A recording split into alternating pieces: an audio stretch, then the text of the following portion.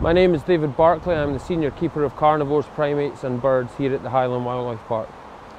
Now the reason we're standing here in a rather remote area of the park, tucked away behind all of the on-exhibit enclosures, is that we're actually standing just in front of our off-show enclosure for Pallas cats. Now Pallas cats is a species that we've had in the park for just over five years and although we have bred them in the past both in Edinburgh Zoo and here at the Highland Wildlife Park, we have seen a reduced breeding success over the last two years and as with all species in the park we try and make sure that we provide an area that's both natural enough but quiet enough for species to improve their breeding success. And this is exactly what we've done with the Pallas cats this year. We've actually brought them down here to an old enclosure that we refurbished specifically for the species.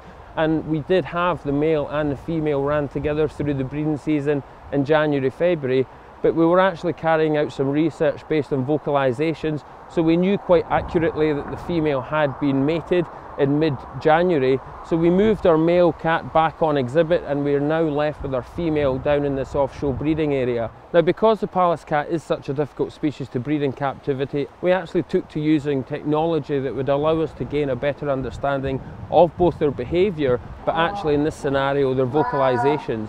And the vocalizations of Pallas cats have never been mapped or analysed in detail in the captive environment before, but because of the oh, oh. technology we used, and in this case a dictaphone, we were able to learn a huge amount about this species through the breeding season. Now, although the species is both very elusive and very quiet, it's a species, in my experience, I have never heard make a vocalization over 10 years. It is very intriguing to find out that once the staff have gone and the public are not around the park, this species is very vocal through the breeding season. And in just over two months, we actually managed to record just over 1,400 vocalizations. These vocalizations allow us to accurately pinpoint matings and fights between the animals or when the male is calling to the female should she become receptive. And since then, we've actually found that our female Pallas cat has fallen pregnant and about four weeks ago now produced a full litter of six kittens. And on top of the technology we use to monitor the vocalizations, we've been using night vision cameras and we've actually managed to gain some very interesting footage of these kittens as they emerge out of the nest box over the last two weeks or so. Now because we manage the European breeding programme, we don't just look at the captive environment or the captive population of this species, we also have to look at research but also conservation measures that are happening in range countries.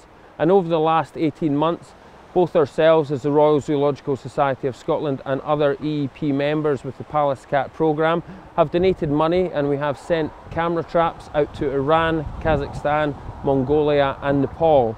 And these cameras will be used to gain more information and improve our understanding of a species. It's very difficult uh, to investigate in the wild scenario. Now the research, conservation and captive breeding of species like the Pallas cat couldn't happen without the support and donations from members and visitors and you too can get involved by either becoming a member of the Royal Zoological Society of Scotland or by supporting some of the conservation projects we carry out.